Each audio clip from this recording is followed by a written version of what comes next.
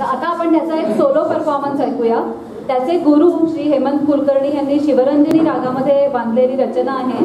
ती तो आता सादर करतो आहे हार्मोनियमवर अनिश.